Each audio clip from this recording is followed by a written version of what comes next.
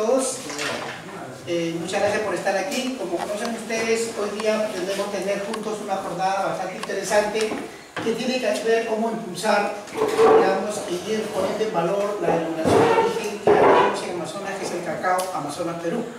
Entonces, vamos a tener una jornada, es una actividad sobre presentación y entrega del primer jardín semillero que ha recogido los mejores materiales, digamos, con estas características del cacao fino de aroma en Amazonas. Esta es una actividad que ha sido trabajada en el marco de un proyecto de participación público-privada entre la Asociación Peruana de Productores de Cacao, ¿no? AP Cacao, se proba, la Central de Productores ah, de Café y Cacao de Amazonas se proba, contando con el apoyo y acompañamiento de la cooperación alemana, la GIZ, con su programa por ambiente. Entonces, para poder dar inicio a esta jornada, queremos hacer primero una especie de, de entrada al evento, de protocolo, ya tenemos en la mesa a nuestro colega Arcadio Menor, presidente de la Mesa Técnica Regional de Cacao. Le damos nuestra bienvenida. Quisiera invitar, en todo caso, a representación de AP Cacao, a nuestro colega Santiago Pastor, que es tan importante en el desarrollo de esta medida. A nuestro colega César Aguirre, representante de PROA, por favor. Otro son importante para el desarrollo de esta medida. Y en la persona con quien hemos trabajado en la zona en Santa Isabel, a Lorenzo, por favor, Lorenzo Delgado, si nos acompañas, sí, con quien hemos trabajado esta medida Semillero. Y como mencionaba, hemos tenido el apoyo y acompañamiento de parte de la Comisión Alemana Pinceta y tiene mesa mi colega Manuel Rojas, para dar inicio, digamos, a esta jornada de presentación del Jardín Semillero. Gracias Tulio, muy buenos días a todos ustedes. Eh, para la cooperación alemana, la GIZ, el programa Proambiente, que está terminando su primera fase, precisamente ahora en dos semanas. Terminamos tres años de trabajo, programa de trabajo conjunto entre el Ministerio del Ambiente, el gobierno peruano y la cooperación alemana, la cooperación técnica alemana GIZ. Una parte de esa cooperación de esos tres últimos años fue el tema de la preocupación fue en torno a la conservación y uso de la biodiversidad. Ese fue un capítulo importante. Dentro de ese capítulo, miramos que en el cacao existía un potencial grande.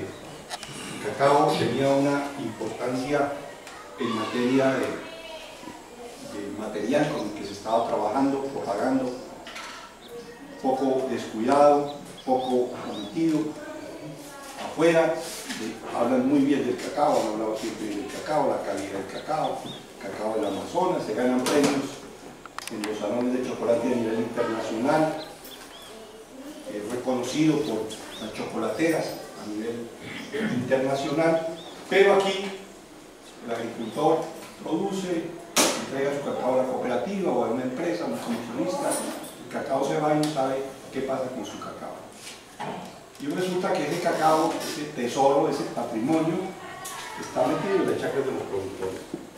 Y por eso, dentro del proyecto de Proambiente, dijimos, hay que conservar, el mejor conservacionista de la biodiversidad, el mejor conservador de la biodiversidad, es un mismo productor. Y por eso iniciamos con la Cacao, hicimos una alianza con la Cacao desde mayo del 2015, vamos a contar casi dos años de trabajo conjunto la cooperación alemana, que es la parte pública, y la cooperación privada, en este caso, la Asociación de Productores de Cacao. Nos pusimos de acuerdo para qué? Para hacer una experiencia acá en, el Amazonas, en Bagua, acá más específicamente en Santa Isabel, buscar entonces cómo conservar, tener ideas sobre cómo conservar la biodiversidad. Ya la cooperativa aquí se proba tenía ya mucha experiencia, mucho trabajo hecho con jardines escolares, tenían una calidad de material. De todas maneras, los productores sí tienen la preocupación que muchas veces las instituciones públicas no tienen por conservar y manejar adecuadamente el material genético que tienen en sus, cultivares. Y aquí entonces, con el apoyo de ese PROA, se hizo este proyecto piloto que se va a presentar hoy, con una participación directa de los agricultores, aquí hay un agricultor protagonista, que es el señor Lorenzo, estuvo trabajando todo el tiempo con nosotros, poniendo su esfuerzo, poniendo su trabajo para sacar adelante, luchando contra las contingencias del tiempo, porque también el tiempo, hace un par de meses la sequía fue grande, eso llevó a que eh, hiciéramos una inversión adicional en buscar el agua, en buscar salvar esa iniciativa, ese esfuerzo de año y medio, dos años, y se logró lo que vamos a brindar más adelante. Entonces, lo que vamos a presentar hoy es un esfuerzo conjunto entre la Asociación de Productores de Cacao, expresado aquí en la cooperativa, en CEPRO, con la cooperación alemana, pero también con participar en otros socios. Yo tengo que reconocer aquí la presencia de la Mesa Técnica Regional de Cacao, de, la, las universidades, especialmente la Universidad Científica del Sur, también donde trabaja, labora un colega de la parte científica, Santiago Pastor, otras instituciones que participaron acá, eh, que tuvieron alguna incidencia en los eventos, etcétera, de Bagua, eh, otras instituciones como el INIA también estuvieron en algunos momentos participando de esta tarea. Y hoy lo que hacemos es, con este evento, es presentar lo que se ha hecho, llevarlo al campo, mostrarle la importancia, que sea el mismo Lorenzo, los mismos agricultores los que presenten qué es lo que, la importancia que tiene ese trabajo que se ha hecho durante años acá y cuál es el futuro de eso, cuál va a ser la perspectiva de ese trabajo. Entonces, yo les agradezco mucho su asistencia, vamos a tener un trabajo aquí en salón, en aula, luego vamos a hacer una visita de campo, vamos a las parcelas, a caminar un poco, ir a las parcelas, ver allá en situ qué es lo que hay, luego volvemos acá y tomamos un almuerzo para hacer el, evento social pues, de, despedida del trabajo que hemos hecho con la comunidad de Santa Isabel. Yo les agradezco mucho la, asistencia y espero de que haya el mejor provecho de esta experiencia que vamos a presentar el día de hoy. Muchas gracias.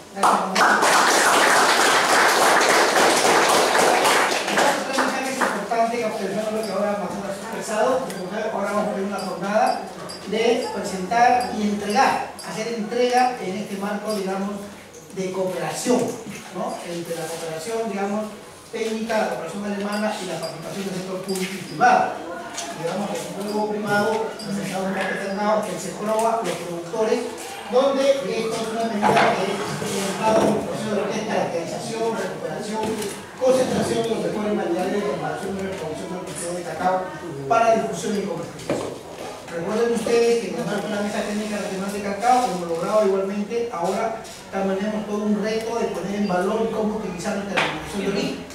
Pero para poder capitalizar esa denominación de origen en una mejor perspectiva de mercado necesitamos expandir y desarrollar nuestro sistema de producción de cacao. Y para eso necesitamos el material genético provisorio que está siendo garantizado con este jardín semillero y seguramente en la perspectiva de adelante podríamos ir integrando algunas otras áreas importantes como proveedora de material genético. ¿no? Entonces, muchas gracias Manuel.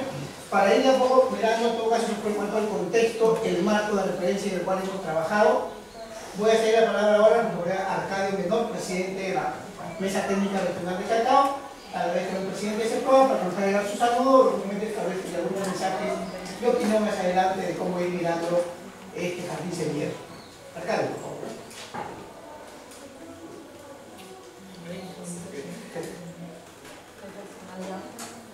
Bien, mi saludo a todos los presentes, representantes de la Universidad de Domingo,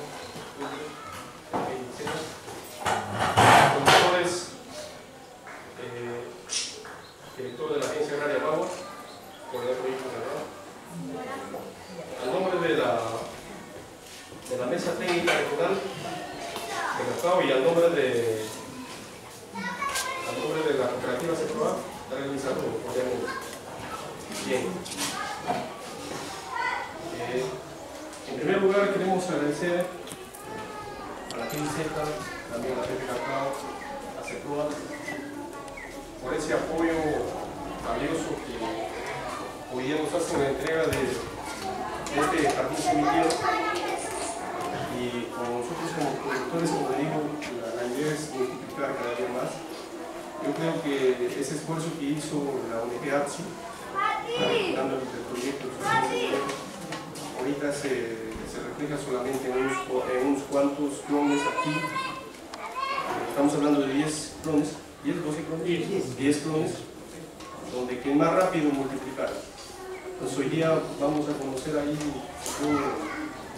la, la ponencia que, que, la vengo a hacer.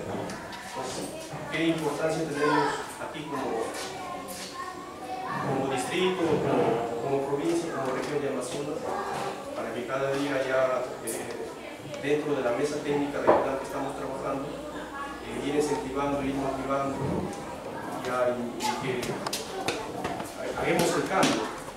Porque esa es la idea de nosotros como productores, eh, como ya el amigo ya mencionó, que nuestro cacao ves acá nosotros siempre queremos, apostamos por un, a veces por un clon introducido de, de otro país y teniendo los mejores aquí.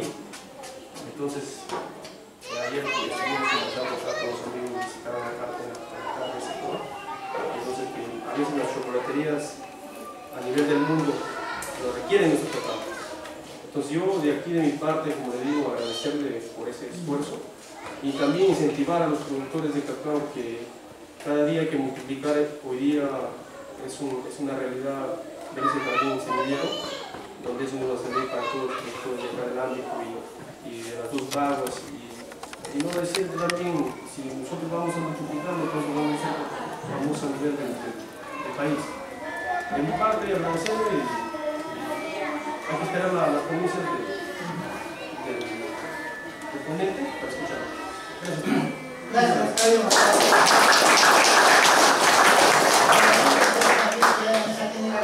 cacao que se viene, digamos, discutiendo y avanzando integralmente en cómo conformar el Consejo Regulador para poder recibir de parte de Indecopi ¿no? esa capacidad de administrar la denominación de origen y justamente el jardín semillero entra en esa perspectiva de fortalecer ese proceso de ingresar nuestra denominación de origen. Bien, desde mencionaba también que lo importante en esta medida ha sido la Asociación Peruana de Productores de Cacao, APECACAO. Podemos ceder la palabra al señor Santiago Pastor para que se su saludo institucional a mesa. Sí, bueno, buenos días con todos, gracias a la mesa y a todos ustedes por participar. Efectivamente este es un trabajo en el que la Asociación Peruana de Productores de Cacao, que preside Francisco Riva Champa, eh, cumple su función de articular eh, las posibilidades que hay de captar ayuda, operación con los socios. En este caso el socio ha sido CEPROA y CEPROA con, eh, identificamos este, al, al, a la agricultura adecuada. Lo principal en cualquier trabajo, lo principal es el recurso humano.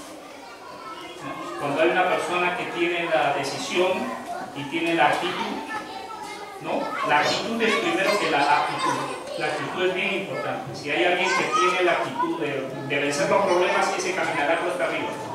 Podemos confiar en él y ese ha sido el caso de Lorenzo, que, ha seguido en esto y APP Cacao pues está complacido de, de haber apoyado. No está acá como directivo, pero me he encargado de transmitir el saludo y seguiremos caminando. Gracias Santiago.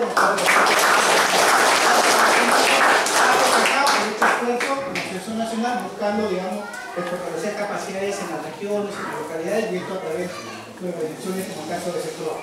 Santiago lo dijo, ¿no? encontrar este trabajo, digamos, trabajo para tener éxito significa encontrar las personas idóneas adecuadas.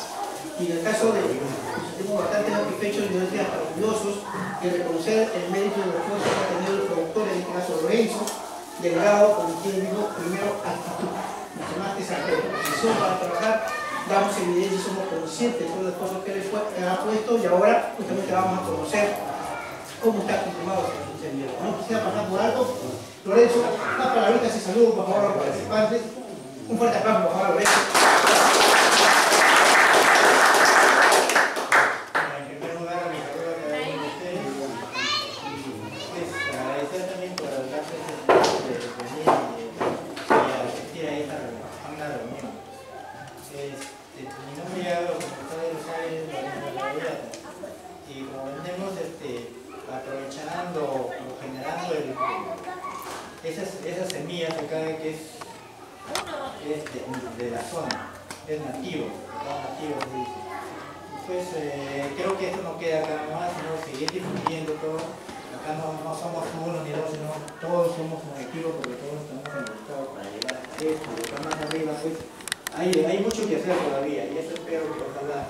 se siga haciendo esto, no quede Claro, este esfuerzo que hemos hecho necesita una perspectiva de continuidad. El sector San Isabel, Lorenzo, socio de una organización del NACE PROA, y creo que hay que reconocer también el mérito y el esfuerzo que nosotros se PROA para este trabajo, para lo que voy a hacer la palabra a nuestro colega César Aguirre, gerente de ese PROA, para que lo pueda la, la palabra de saludo en nombre CEPROA y creo que también la palabra formal de, de apertura de esta bonita jornada. Muy bien, eh, gracias Tulio, gracias este, Mesa aquí decimos esta reunión. A ustedes, señores productores, señores autoridades, que se, se dieron cita a este lugar de Santa Isabel. En verdad, región y específicamente aquí en, las provincias de Baba y Cubano, se han venido gestando procesos muy interesantes en torno al cultivo de café, perdón, de verano.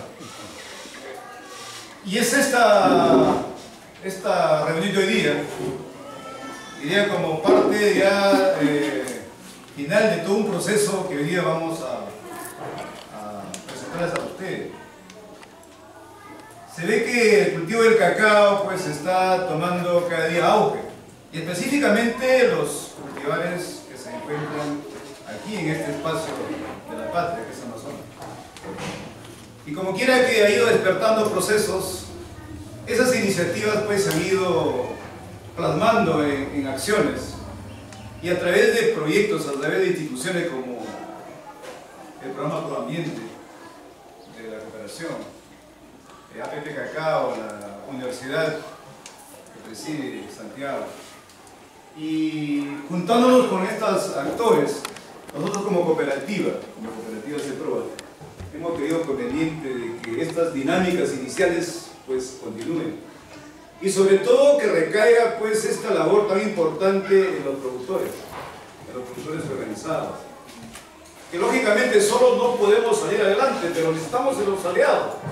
Y esos aliados son como la universidad, los gremios nacionales, como en este caso APP Cacao, la misma región, los municipios, pues juntemos esfuerzos para que estas iniciativas no se, no se queden, más bien contribuyan a dinamizar primero la parte productiva, con enfoque de mercado, y después, pues, poco a poco, aliviar la economía de, de los productores inmersos en este cultivo.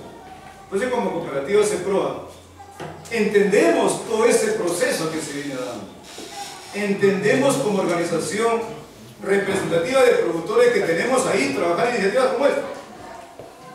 Y no escapamos, no dejamos suelto la facilitación de otros actores que son muy importantes para continuar iniciativas como esta, de esta naturaleza.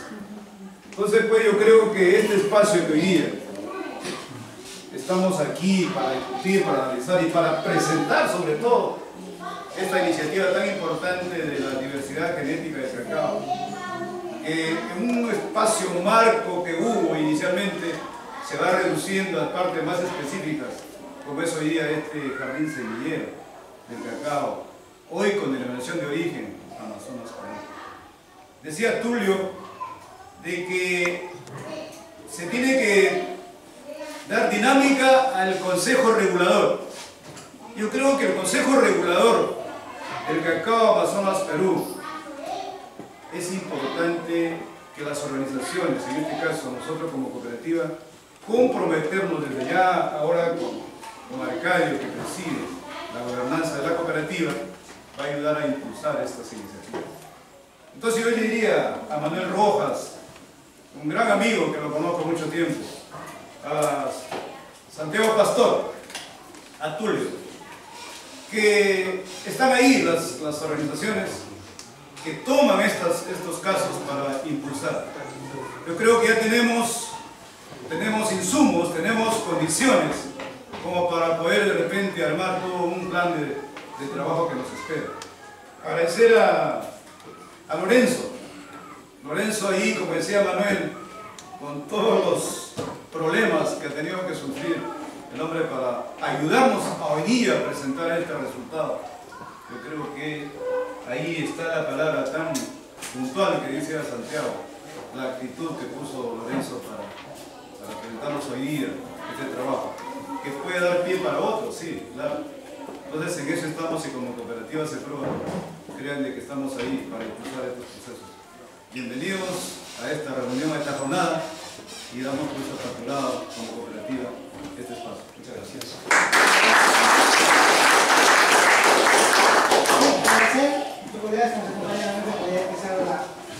jornada.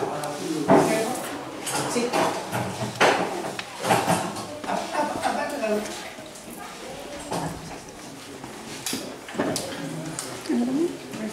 Pero-